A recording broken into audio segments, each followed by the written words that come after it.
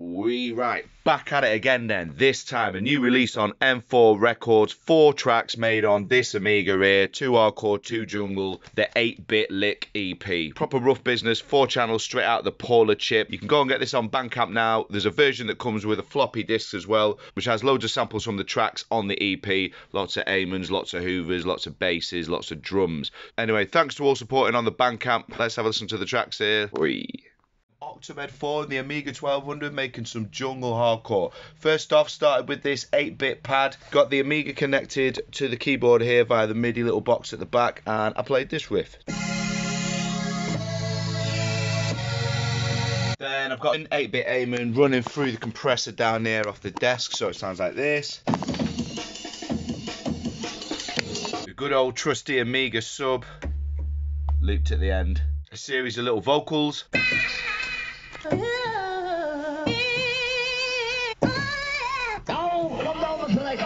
Quick kick drum, hi hat.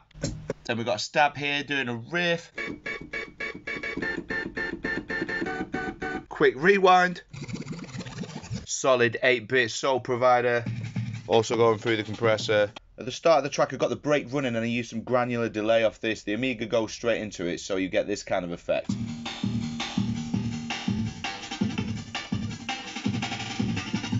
But anyway, here we go. More Amiga bangers.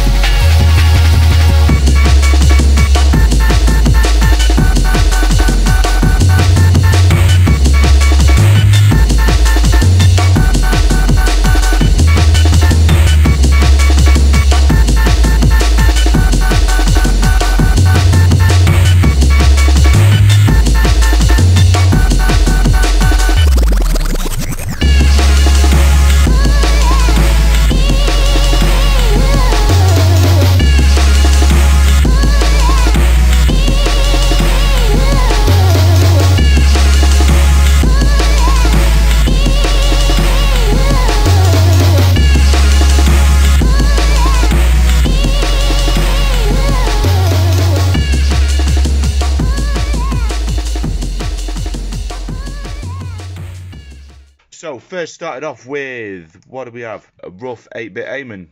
Standard business. As you can see when I trigger it on MIDI, it's going through to the compressor here, so you got just gives the Amiga a bit more weight in sound. Got a Hoover,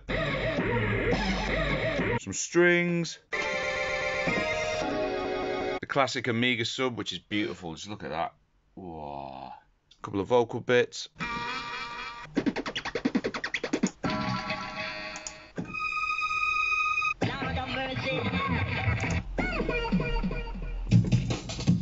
yeah, basically a handful of samples. Just want to make some rough 8-bit stuff again. So, uh, yeah, less chatting, no synthesis time, just samples straight out the Amiga. So here we go, more Amiga rough bangers. Go ahead. Good. Good.